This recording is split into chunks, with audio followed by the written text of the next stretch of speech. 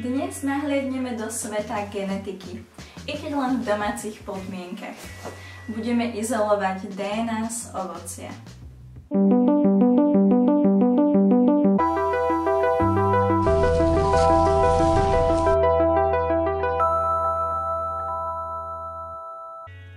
Predtým, ako začneme so samotným experimentom, povedzme si, čo to vlastne dnes ideme izolovať. Takže, čo je to DNA? Je to deoxyribonukleová kyselina, ktorá je nositeľkou genetickej informácie bunky. Je uložená v jadre a okrem uchovávania genetickej informácie riadi delenie, rast a regeneráciu bunky. Ak by sa vás niekto spýtal, či už ste niekedy zjedli DNA, Aká by bola vaša odpoveď? Túto otázku som kladla aj deťom, kde ich častá odpoveď bola jasné nie. Až nakoniec jeden zadrel, že hej, zjedol som DNA, keď padol detkovi vlas do polievky. Celý čas bol taký rozhorčený, že zjedol DNA nejakého dôchodcu. Takže je veľmi dôležité, aby ste si zapamätali, že DNA nájdeme či už od tých mikroskopických baktérií, cez rastliny, živočíchov, až po nás, po človeka. Ale myslím si, že málo kto z vás ju videl aj na vlastné oči, čiže si ju dneska ideme vyzolovať. Na realizáciu experimentu budeme potrebovať banány alebo jahody, izopropyl alkohol, sol a detergent. Z pomôcok budeme potrebovať mixer alebo mikroténový sáčok, filtračnú aparatúru, nôž a skúmavku. Postupujeme tak, že si nakrájame jahody na menšie kúsky.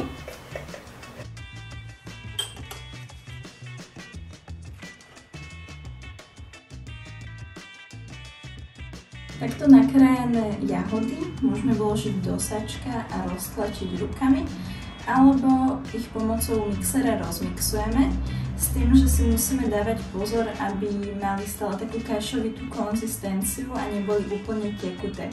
Takže ak využijete možnosť s mixerom, tak odporúčam mixovať maximálne 5 až 10 sekúnd.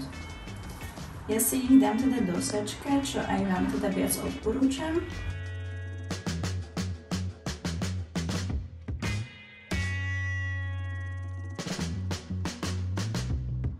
Takúto zmes prelejeme do kedičky alebo do pohára.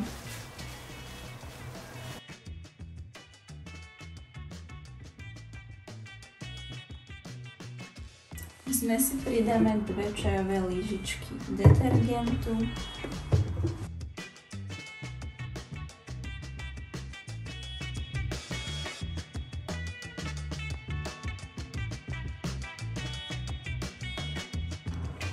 Ďalej pridáme sol.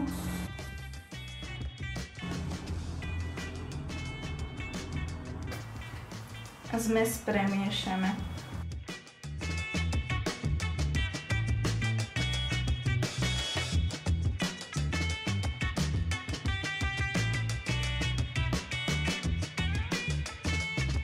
Takto vzniknutú zmes prefiltrujeme.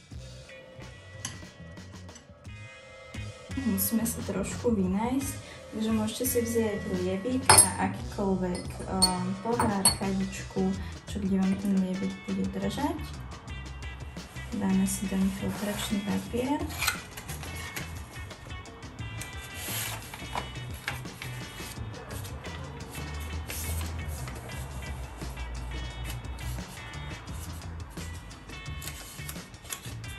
Samozrejme vo vašom prípade doma môžete použiť gázu. Filtračný papier si navlhčíme a musíme dávať pozor tak, aby nám sa nám neroztrhol. Keďže sme v domácich podmienkach, nemusíme sa držať pravidla, že ideme liať po tyčinke, ale ideme sa teda vynájsť a ten roztok si tam takto nalejeme.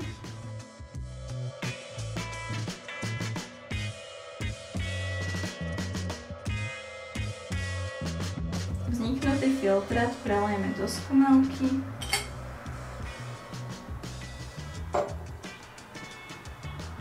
pridáme k nemu izopropyl alkohol v pomere 1 k 1.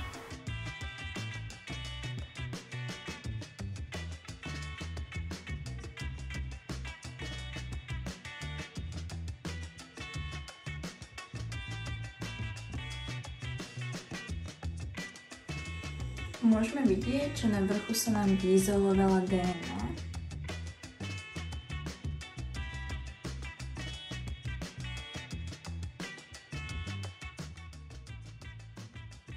Princíp experimentu Roztlačením jahôd je vystavená väčšia plocha, z ktorej sa dá DNA extrahovať. Keďže je DNA uložená v jadre bunky, ktorá je obalená bunkovou stenou, Potrebujeme ju z nej nejakým spôsobom uvoľniť. Na to nám v experimente pomáha saponát, ktorý rozruší membránu bunky a DNA sa začne uvoľňovať. Pridaním soli podporíme jej zhlukovanie. Pridanie alkoholu umožní oddelenie DNA od iných látok v bunke a vypláva na povrch, keďže sa v alkohole nerozpúšťa.